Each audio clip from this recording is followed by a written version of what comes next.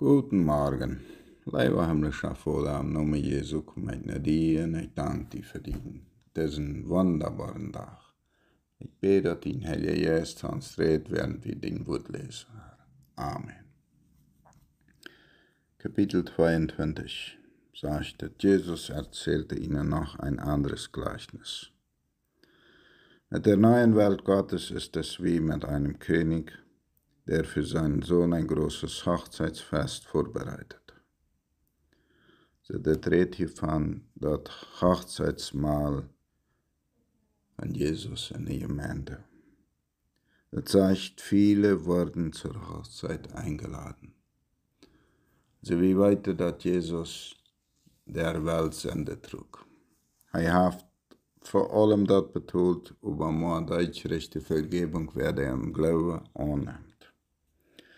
Also viele waren eingeladen. Jeder hat die Chance.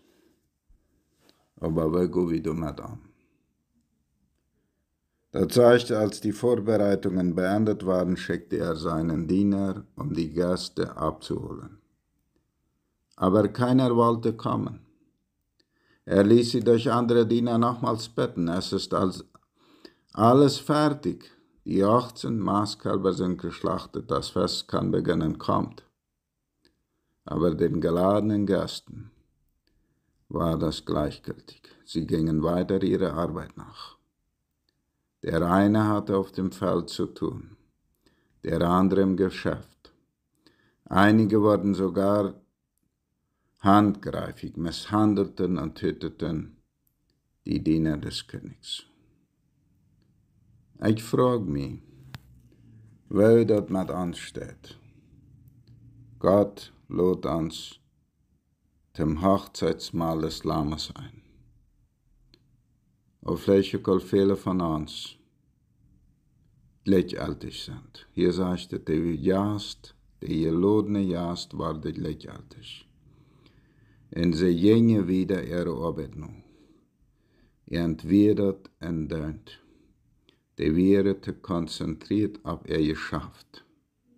Manche waren sogar Hühnchen handgreiflich. Ich glaube, wir müssen uns prüfen, wie sind in der letzten Zeit. Das Hochzeitsmahl, von was man hier redet, das wird bald sein. So wie alle. Aber wenn wir auf die Anladung, auf, die, auf die Anladung wirklich ein Fallet finden, oder auf wie dort missachten. Ich glaube, all die, was die Anladung Gottes missachten, die waren da nicht sein. Die waren nur her, te laat waren die alle Welle doen Aber dann war es zu laat.